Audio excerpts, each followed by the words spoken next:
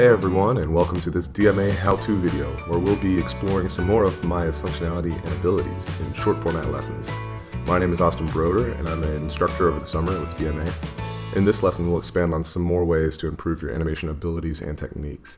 If you haven't been in DMA's Introduction to Animation summer course, I highly suggest you try signing up. It's highly informative and will help set you up for success in animation. However, you can figure out a lot of this on your own with some basic knowledge and a lot of practice. Let's start off by reviewing some of the basic tools in animation. Select the animatable object, whether it's a polygonal mesh or a NURBS curve controller, and select the initial frame, then decide on your pose, then set a keyframe.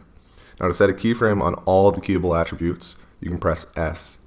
But if you want to be a little more specific, you can actually uh, set keyframes on specific values by using Shift W to set translate keyframes, Shift E for rotate keyframes, and Shift R for scale.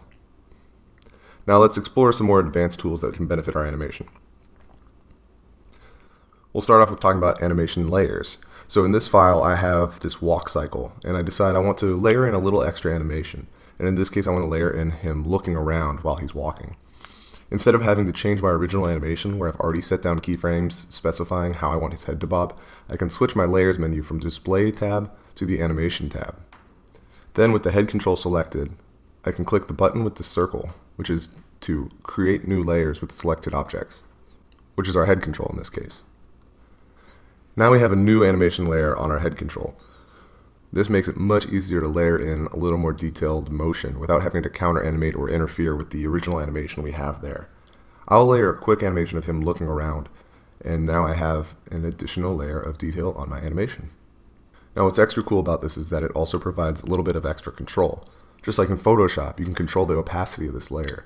So if you'd like to blend this into your animation a little bit more, you can try lowering or adjusting the opacity.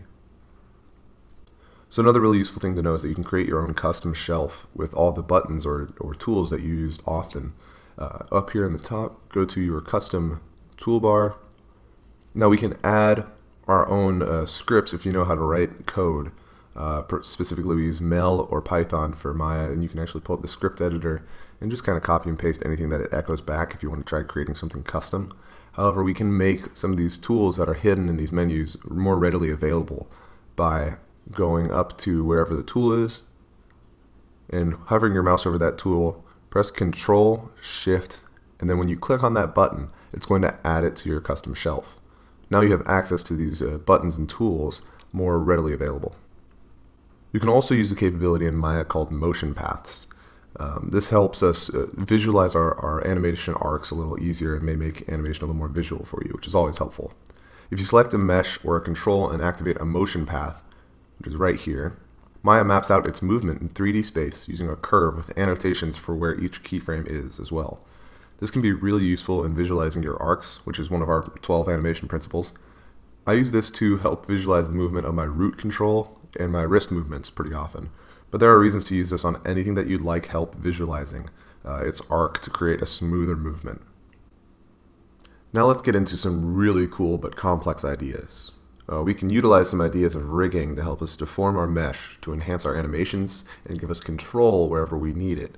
Now, I wouldn't suggest going overboard with this. It is easy to fall into a mindset of focusing on details when you should be watching for the overall animation. For example, the arcs that our motion paths help visualize.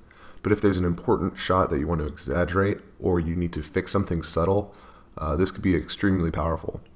Important note, we only use deformers once we're completely done with our animation. This is for polish. Now each deformer has a different set of rules as to what will help you make it work. So it's important to note how to apply and interact with them because they can screw some things up. So it's a good time to save out a new version and also save new versions often. Since we're limited in time, I'll go over two very powerful deformers, the lattice deformer and the cluster deformer. You'll have to switch to the rigging set menu to find these under deform. Let's start with a lattice. A lattice deformer creates a cage around the object you apply it to, and when you move its components around, which are lattice points, you will bend and deform the mesh within it. This is a great way to apply a huge cartoony deformation to the whole object. Now to the rules of how to interact with this. Just like we don't animate on the vertices of our model, we don't animate the lattice points themselves. When we want to animate this, we'll have to incorporate our other deformer, the cluster. Now the cluster deformer takes whatever components are selected and creates a single cluster control. This is perfect for what we're going to do, so select the lattice points you want and create a cluster deformer. Now we can animate on the cluster. So now that we understand what a cluster deformer is, we can try using it in a different way. Since it's creating a single control for many components, let's use it to animate a change on our model. Select all the vertex you want affected and maybe grab a few extra and create a cluster deformer. Now when we move our cluster, it moves all of those vertex, uh, but it moves them all equally and it's not very smooth or appealing. So let's take a look at how we can improve on this. If you select the affected mesh in object mode, you can go to modify, paint attributes tool. If this doesn't open up the tool settings tab, you can go ahead and do that manually.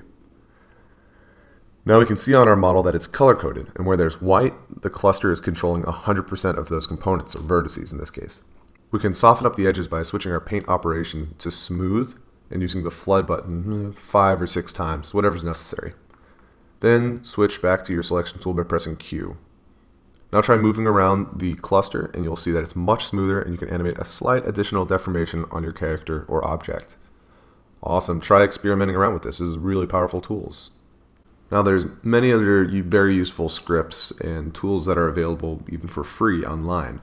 And you can find some of them on websites like Creative Crash or on uh, one of my favorites is Tool Chefs, who have many very cool tools available for you.